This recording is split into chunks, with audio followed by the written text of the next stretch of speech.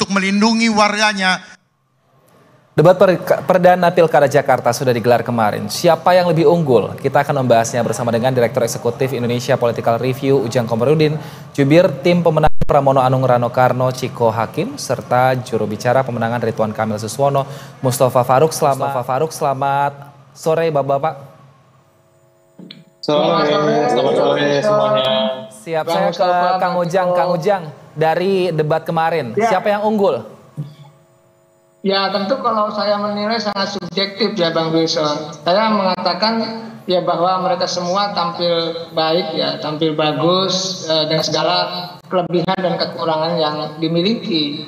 Ya tapi memang kalau kita bicara soal substansi memang harus lebih detail lagi, lebih komprehensif lagi, harus lebih apa namanya dalam lagi ya mungkin karena debat perdana jadi ya temanya walaupun tema terkait dengan SDM dan eh, namanya eh, kota global ya le lebih juga eh, ditekankan dengan tema-tema lain ada kesehatan eh, pendidikan dan lain sebagainya. Oleh karena itu ya tentu eh, ke depan di debat kedua mungkin harus lebih fokus ya lebih apa namanya tertuju pada tema-tema de debat yang di breakdown kepada eh, konsepsi-konsepsi atau program-program uh, yang memang secara komprehensif bisa dijelaskan dengan detail agar apa agar publik paham betul dengan tema atau substansi debat yang disampaikan oleh uh, para kandidat. Ya saya meyakini bahwa debat tadi malam adalah debat ya permulaan ya pemanasan dan mereka sudah uh, tampil sebaik mungkin untuk meyakinkan warga Jakarta dengan segala kemampuan yang dimiliki. Ya, saya sih tetap dari awal sudah mengatakan uh, para paslon itu punya kapasitas, punya apa namanya uh, kapabilitas untuk bisa katakanlah menyampaikan program-program uh, secara baik. Tetapi memang tadi yang namanya juga debat pasti ada kekurangan-kekurangan di sana sini yang tentu harus juga ditambal apa baik. namanya dalam debat kedua dan ketiga nanti. Baik, saya ke Mas Ciko. Mas Ciko, kemarin menurut Anda Mas Pram dan Rano unggul di bagian mana? Ya, kalau ditanya ke juru, juru bicara paslon tentu jawabnya unggul di semua bagian gitu. Saya yakin nanti Mustafa Faruk juga akan menjawab hal yang sama ya. Tapi pada prinsipnya gini, kalau kita mau bicara keseluruhan dan saya yakin ini juga akan disepakati oleh semua orang bahwa format debat di Indonesia untuk uh, pemilihan umum apa pun itu, pilkada, pileg maupun uh, pilpres itu sebenarnya tidak menguntungkan bagi para kandidat. Kenapa? Karena tadi Kang Ujang juga sudah menyampaikan uh, seharusnya kan lebih dalam, seharusnya lebih substantif. Tapi waktu itu tidak memungkinkan terkait itu. Dan rebuttalnya, pertanyaan-pertanyaannya itu juga sangat global dan kemudian tidak ada dinamika yang menarik karena tidak ada perdebatan sesungguhnya. Jadi dibilang debat tapi sebenarnya nggak ada perdebatan. Dan kami kan juga berharap sebenarnya eh, harusnya para panelis yang eh, orang-orang hebat itu diberi kesempatan untuk bertanya dan justru mereka yang semacam tanda kutip menguji gitu eh, terkait dengan jawaban-jawaban yang dilontarkan oleh para paslon. Tapi pada prinsipnya eh, kami merasa cukup puas dengan eh, segala kekurangan format debat selama ini Eh, dan saya rasa message-nya atau pesan-pesannya sudah tersampaikan terkait dengan generasi Z, terkait dengan uh, penguatan SDM dan juga transformasi Jakarta menjadi kota global. Uh, Mas Pram dan Bang Dul sudah saling melengkapi, menyampaikan bahwa kami menitik beratkan pada penguatan SDM yang juga berbasis pada Gen Z, tapi Gen Z-nya pun uh, yang berbeda dengan apa yang dibahas oleh paslon lain, kami bisa melihat Gen Z dari segala strata karena Gen Z ini kan bukan hanya uh, kaum segmen yang uh, berinternet atau yang minum kopi di kafe atau di co-working space, tapi juga ada Gen Z Gen Z yang uh, di strata ekonomi yang rendah dan juga mempunyai lingkungannya sendiri yang uh, kemarin uh, yang saya bisa garis bawahi terkait dengan uh, penciptaan lapangan kerja di sektor PPSU misalnya pasukan oranye gitu kan. Ada juga segmen itu dan kita juga akan menyediakan lapangan kerja bagi mereka yang kurang berpendidikan atau pendidikannya Baik. tidak setinggi rata-rata di Jakarta dan eh, akan menurunkan eh, apa kriteria eh, penerimaan bagi perusahaan-perusahaan maupun eh, pemprov. Baik, Mas Faruk, saya yakin juga Anda menyatakan pasti uh, Ridwan Kamil Suswono unggul. Nah, kalau begitu, Mas Faruk melihatnya kira-kira uh, di bidang apa uh, Ridwan Kamil dan Suswono unggul, Mas Faruk, dibandingkan dengan yang lain yang mungkin programnya sudah real gitu?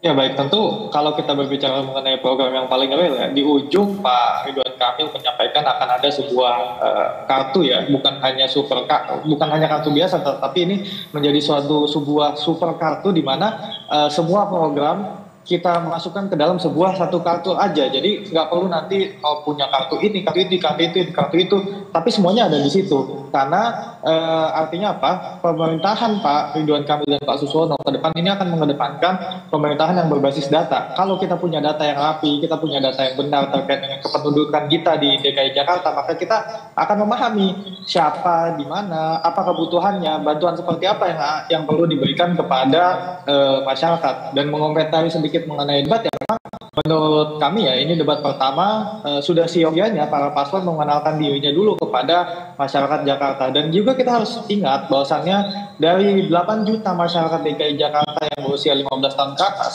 6 jutanya itu berpendidikan SMA ke atas Artinya apa? Literasi tingkat literasi masyarakat Jakarta ini cukup tinggi.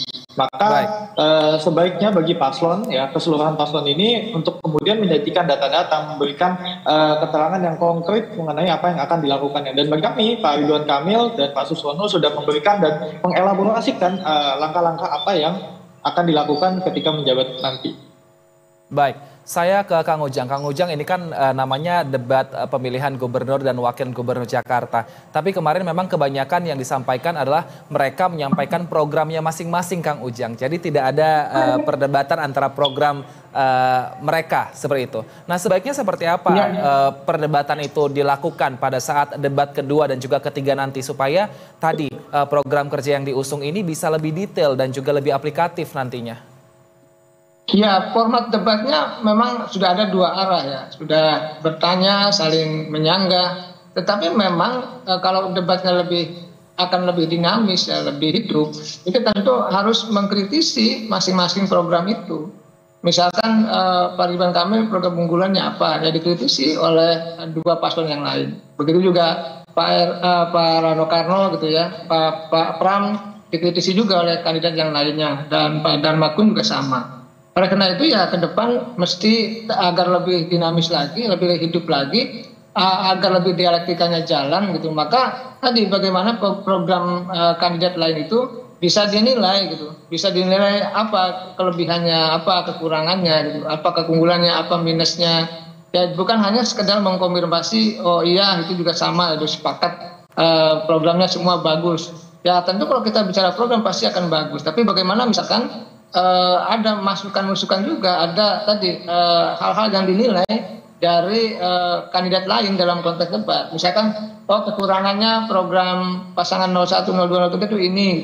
Ini harus juga di, dikembangkan sebagai bagian daripada untuk melihat bahwa program-program itu apakah memang realistis, apakah betul-betul rasional gitu ya, Baik. ataukah betul-betul hanya sekedar janji-janji. Jadi ke depan kalau ingin dialektikanya jalan, diskursusnya oke okay, gitu maka tadi harus saling ada uh, kritik-kritik sanggahan-sanggahan. Yang penting Baik. bukan menyerang. Yang penting jadi bukan menyerang tapi mengkritik menyanggah sesuai dengan argumentasi dan data-data yang objektif begitu Baik, kalau begitu Mas Iko dan juga Mas Faruk, saya ambil satu sampel mungkin yang uh, masalah yang cukup banyak juga diperbincangkan di media sosial adalah mengenai masalah Gen Z ini untuk debat kemarin, di mana Mas Pram menyatakan uh, ini akan membuat work from anywhere kepada Gen Z, sementara uh, Mas uh, Ridwan Kamil menyatakan akan kopi gratis di coworking space yang disediakan. Mas Iko, boleh dikritisi untuk program Ridwan Kamil mengenai Gen Z ini, apakah bisa diaplikasikan nanti menurut Mas Iko? Ya cukup menarik. Jadi kan sebenarnya kalau kita mau jujur, semua program yang ditawarkan oleh para paslon ini kan sebenarnya niatnya baik gitu ya. Tapi kan kalau kita bicara soal realistis, ya kita harus juga berhitung. Kalau kita bicara soal work from anywhere, tapi kemudian menyediakan uh, tempat, sebenarnya itu agak kontradiktif ya. Gitu. Jadi artinya kan work from anywhere, artinya dia bisa di rumah, dia bisa di taman, dia bisa menggunakan tempat-tempat yang sudah ada justru untuk mengurangi beban anggaran gitu loh. Tadi kan Mas Pram menyampaikan kenapa work from anywhere itu bagus, mungkin kurang bisa dielaborasi karena waktunya terbatas. Bagi perusahaan-perusahaan, memang kan overhead cost itu kadang-kadang membebani sehingga sering mereka akhirnya terpaksa melayoff atau men, apa, memberhentikan karyawan karena listriknya mahal, karena Eh, pemeliharaan gedungnya mahal. Kalau kita bekerja lima hari kerja seminggu, ya kan sekian jam per harinya. Tapi kalau kantor itu misalnya eh, tidak beroperasi eh, secara fisik selama dua atau tiga hari dalam seminggu, artinya cuma dua hari dia aktif dan kemudian karyawannya dibebaskan bekerja dari mana saja. Nah ini kan artinya menurunkan itu, menurunkan cost listrik dan ini semuanya ber singgungan sehingga mereka juga uh, kemungkinan tidak perlu di layoff tidak perlu diberhentikan eh, uh, sehingga mereka bisa tetap produktif bahkan lebih produktif gitu tanpa harus membebani, membebani perusahaan dalam kos-kos itu jadi kalau sudah dibikin work from everywhere tapi kemudian dibikinkan kantor lagi kan itu gitu, gitu ya dibikinkan co-working space kan artinya dibikinkan kantor lagi untuk menampung Baik. yang work from everywhere itu ya saya rasa cukup kontradiktif ya tetapi ya kemudian Baik. kembali lagi kalau memang anggarannya ada, kalau memang eh, anggaran DKI ini tidak terbatas gitu. Misalnya ya kita sih senang-senang aja, warga juga senang-senang aja dikasih Baik. gratis ini, gratis itu, atau diberikan uang RW misalnya 2 juta, nggak ada masalah. Bahkan kita pinginnya ngasih satu miliar malah gitu kan. Tapi Baik. itu tadi kita harus bicara realistis. Tadi kan Faruk juga sudah menyampaikan warga Jakarta ini kritis, tingkat pendidikannya tinggi. Nah, semoga aja juga uh, kita mulai bagaimana caranya menyerap aspirasi yang sesuai Baik. dengan uh, aspirasi masyarakat yang berpendidikan. Baik, Mas Faruk, uh, realistis nggak programnya dari Mas Pram untuk Gen Z ini, khususnya untuk Gen Z?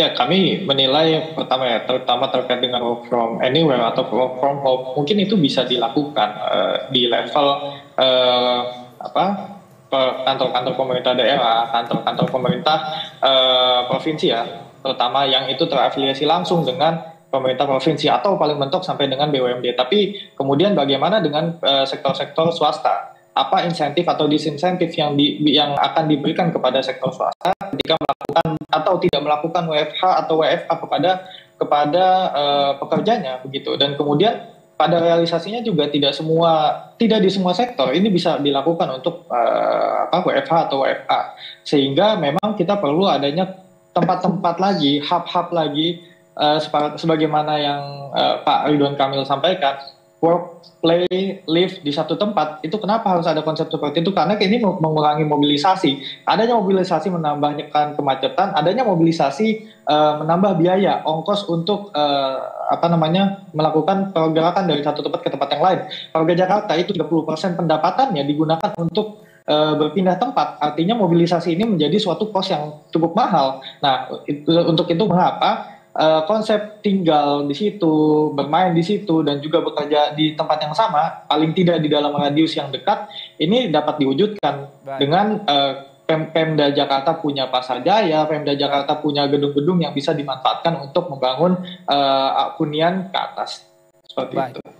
Kita akan nantikan seperti apa debat kedua dan juga ketiga. Kita harapkan juga para calon gubernur dan wakil gubernur Jakarta nanti dalam debat kedua dan ketiga ini bisa saling mengkritisi supaya program yang dibentuk dan disosialisasikan nanti siapa pun yang akan menang ini bisa uh, lebih bagus dan juga aplikatif dan juga tentunya akan mensejahterakan masyarakat Jakarta. Terima kasih atas waktunya Direktur Eksekutif Political uh, Review Ujang Komarudin, jubir tim pemenangan Pramono Rano Ciko Hakim serta jubir tim pemenangan Rituan Suswono telah yaitu Mas Mustafa Faruk telah bergabung bersama kami. Sehat selalu, selamat sore.